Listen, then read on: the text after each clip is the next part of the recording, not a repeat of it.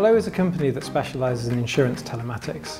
We take an awful lot of data from various resources to combine it together to understand risk and inform people about their safety whilst moving. I didn't originally finish my A-levels straight away. I left home to explore working in the music industry for a brief period. Ended up working on DNA analysis for Kew Gardens. I found several new species. Lots of work in international disaster relief. I used to work um, running the security at festivals.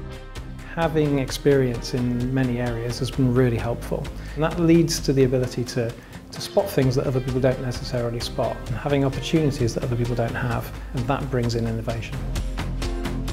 Sam is a really interesting person to come to work with. He's expanded the work into areas such including pollution and working with the public service and into automobile driving and uh, self-driving cars, all these things that are really interesting and related to telematics but not something that we necessarily have thought of. Telematics is the science of gathering information about movement remotely understanding how people drive. If you insure people for that, you're paying directly for good behaviour, which makes everyone safer.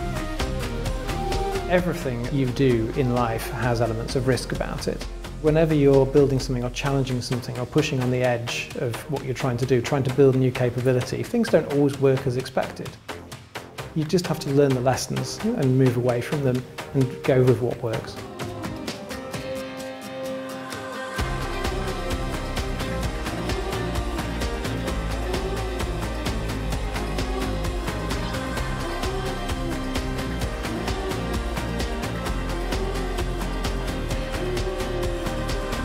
Floow was formed in Sheffield after um, some debate.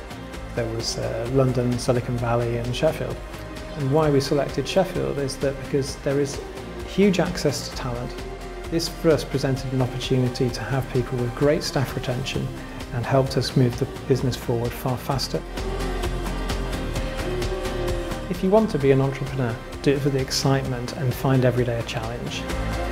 Find the niches that actually invigorate you, that you take great interest in and other people find appealing. As soon as you do that, you find something that is unique. You find something that has value to other people and that's where you build a market and unique proposition that creates a world for yourself that is amazing.